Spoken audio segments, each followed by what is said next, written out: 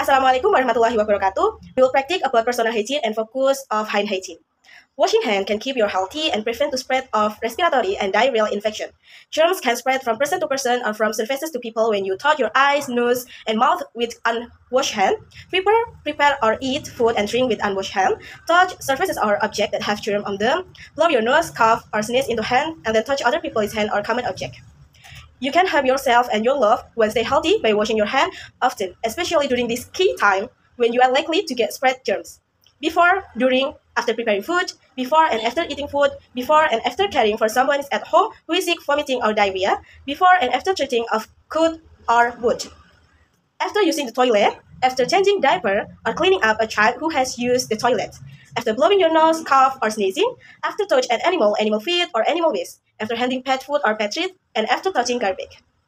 Washing your hand is easy, and it's one of the most effective way to prevent the spread of germs. Clean hands can help stop germs from spreading from one person to another in our community, including your home, workplace, school, and child care facility. Follow these six steps from me. Apply a palmful of the product in a covered hand covering all surface. Next, rub hands palm to palm. Uh, and then, right palm overlap the dorsum with interface finger and vice versa.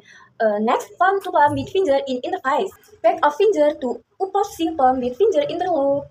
Next, rotational rubbing of left then gathered in right palm and vice versa. Next, rotational rubbing with clap finger. Good morning, I'm Alfie as a nurse at this morning. Can you tell me what's your name, your age, and your address? Uh, my name is Novia. I'm 20 years old and I'm living in Wonogiri. Okay, yesterday you want uh, I teach you how to wash your hand, right? Yes. Okay, today I will uh, teach you how to wash your hand cleanly and properly. Are you ready? Yes, I'm ready. Okay, first put the hand sanitizer on your palm like this.